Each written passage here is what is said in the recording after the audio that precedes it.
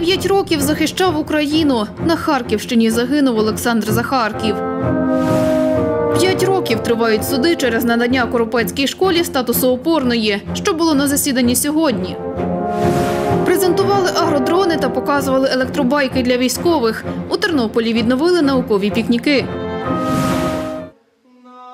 Олександр Захарків служив у Збройних силах України від початку російсько-української війни, каже речник 105-ї бригади територіальної оборони Юрій Кульпа. Після повномасштабного вторгнення був командиром роти, брав участь у боях на Харківщині, Донеччині та Луганщині. Олександр Захарків завжди був відданим е, своїй батьківщині і не лише на посаді, але він справжній патріот України, яким можна пишатися і з якого брати приклад.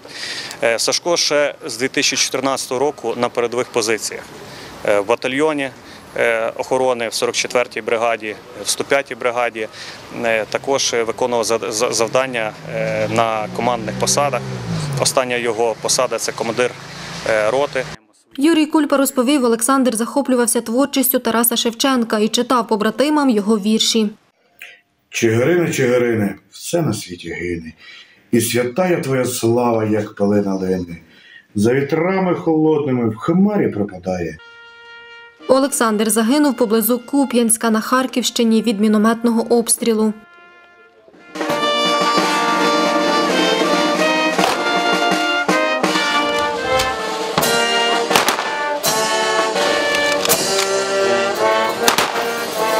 Рідним загиблого бійця вручили грамоту пошани та скорботи. Пам'ятний лист на знак глибокої вдячності за жертовне служіння в лавах Збройних сил України, командира 2-ї стрілецької роти військової частини А-7169, капітана Олександра Захарків. Як головнокомандувач Збройних сил України схиляюся перед відвагою, стійкістю та патріотизмом воїна, чинами якого уславлений Володимирів Трезуб. Сестра Олександра Захарківа Лілія розповіла, що він насамперед турбувався про своїх побратимів. Мій брат е, був дуже добрим, щирим. Він є атовець, він пройшов гарячі е, точки. Е, Він любив дуже своїх хлопців. Він завжди був за ними, стояв як горою. Завжди казав: Я йду першим, хлопці, тому що е, я не маю сім'ї, і я йду першим. А ви маєте дітей, вам потрібно повертатися додому. Поховали Олександра Захарківа на Миколинецькому кладовищі. У нього залишилися батьки та сестра. Людмила Путькалець, Андрій Бодак, Суспільне, Новини, Тернопіль. Адміністрація Коропецької школи судиться із селищною радою через те, що заклад вирішили зробити опорним. Про це розповів голова громади Микола Тимків. За його словами, суди через це тривають 5 років. Наразі справу розглядають в обласному господарському суді. Сьогодні відбулося підготовче засідання. Справа з 2018 року затягнута ще. Ми відповідаємо по скасуванню рішення по опорній школі, яке було прийнято при нашій каденції. От, знаходимося вже в третьому суді, пройшли адміністративний, господар, е, апеляційний, зараз господарський суд. Скасування рішення по опорній школі, тому що адміністрація школи не бажає, напевно, створити опорний заклад для, для дітей, для покращення навчального. Позивочка на засідання не з'явилася і на телефонні дзвінки не відповідає. А її адвокат сказав, що не уповноважений коментувати справу.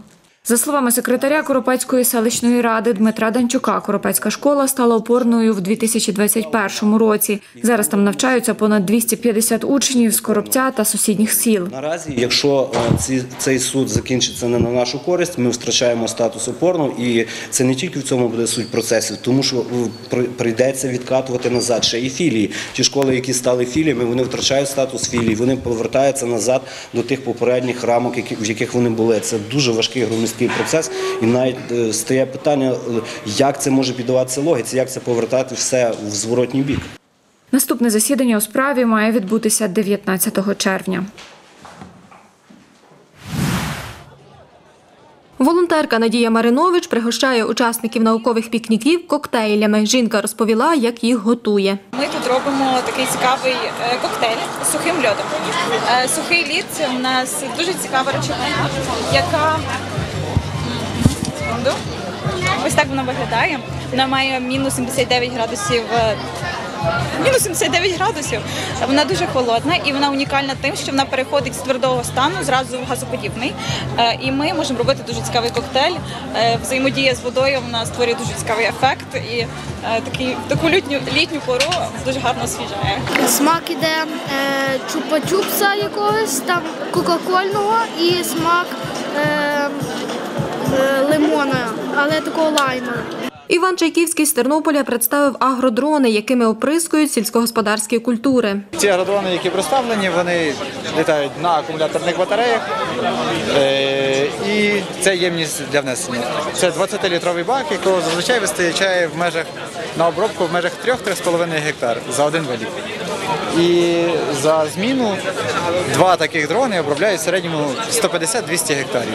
Цьогорічних наукових пікніках взяло участь 50 команд. Вони представили власні розробки, наукові дослідження та влаштували міні-лабораторії просто неба, розповів співорганізатор фестивалю Михайло Сиротюк. масштабний захід, е, який е, популяризує науку, доводить, що наука це цікаво, потрібно і актуально.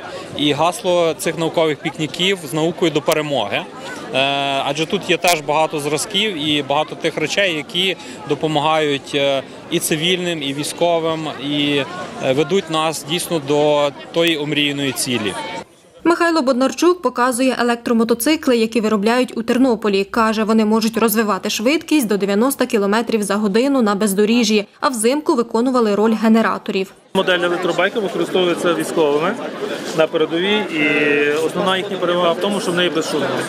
Тобто для виконання певних операцій безшумно заїхали, зробили роботу і тихенько повернулися. Тим самим е, можна е, зберегти життя або виконати ті задачі, які неможливо іншим шляхом. Долучилися до наукових пікніків тернопільські школи, коледжі та університети. Студенти соціально-гуманітарного факультету влаштували для учасників фестивалю психологічні ігри, розповіла деканка факультету Оксана Гомотюк. А майбутні дизайнери разом з викладачами малювали дітям художні татуювання. З дітками працюють, волонтерять студенти-дизайнери. Дивлюся, що зацікавленням усі дітки вже вишикувалися у чергу, бо тут продукують, виробляють татушки дитячі. Наукові пікніки у Тернополі організовують 10 років поспіль, розповів Михайло Сиротюк. Людмила Путькалець, Оксана Галіяш, Суспільне, Новини, Тернопіль.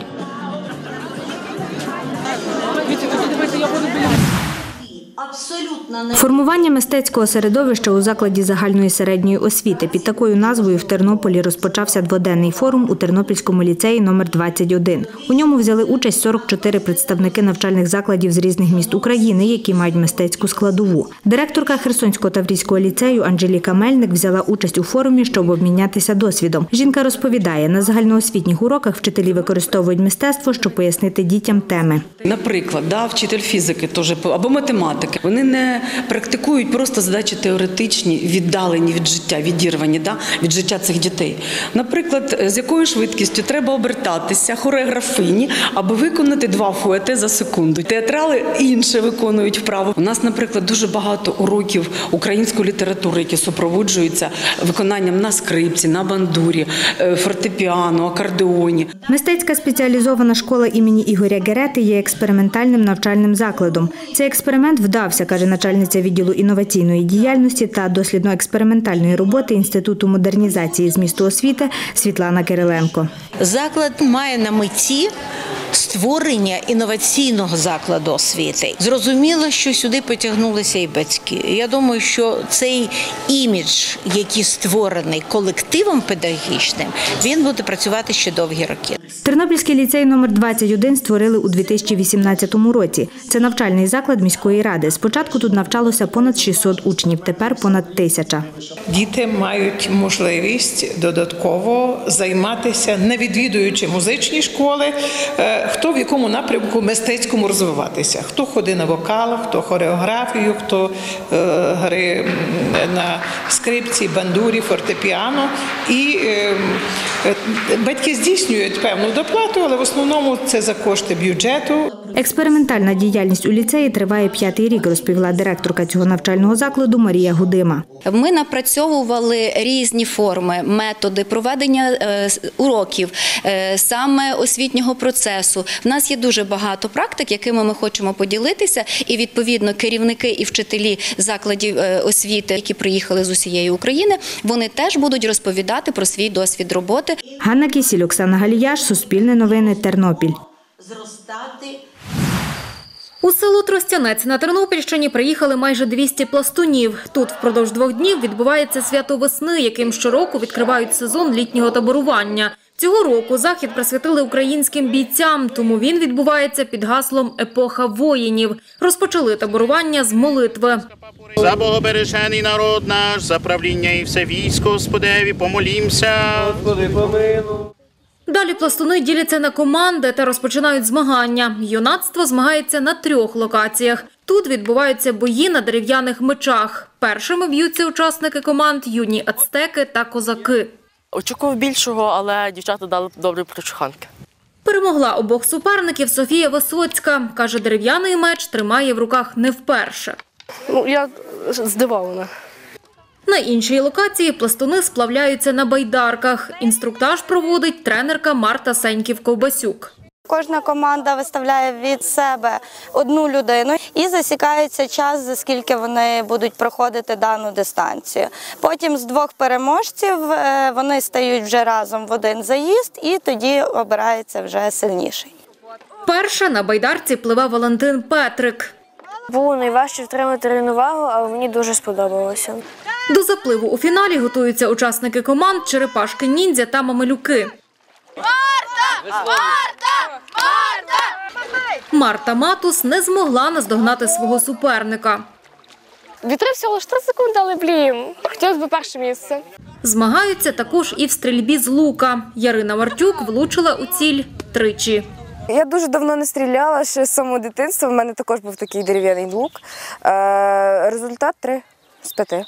Молодші пластуни змагаються на 13 локаціях. Для цього вони придумали легенду про короля тюльпанів, який має перемогти злого короля іншої держави Патіна. Усі учасники поділилися на королівства, які прийшли на допомогу доброму королю, каже старший пластун Любомир Петровський. Зараз вони навчаються дуже важ- важливих істин для їхнього життя, про те, що добро завжди перемагає зло, для, для ну про те, що в команді завжди можемо переб- перебороти будь-які труднощі, е, про те, як користуватися списом, луком. Поки одні долають переправу через гірську річку, інші стріляють з луків. Учасники команди королівства індіанців вчаться копати окопи. Щоб ховатися і оборонятися від когось. Та не дуже було складно, просто трошки треба було покопати. А на цій локації діти відгадують загадки. Хто говорить на всіх мовах? Попугай? Ще. В, в горах. Що, якщо хтось крикне по-італійськи? А, відлун! Відлуння. Відлуння ехо. Після виконаного завдання дітям ставлять печатку в паспорт королівства, яка дозволяє перейти на іншу локацію. Перемагає та команда, в якої найбільше балів. Станична Бережанської станиці пласту Дана Гора розповіла, для чого проводять свято весни. Це така підготовка до таборового літа, Е, адже вони мають такі частини змагів: Е, це кулінарний змаг, табірництво, інтелектуальний. Е, Це все готує їх до доброго проведення таборового літа е, на їхніх вже таких е, більших таборах, які е, є тривалістю близько двох тижнів. Богдана Савицька, Андрій Бодак, Суспільне новини, Тернопільщина.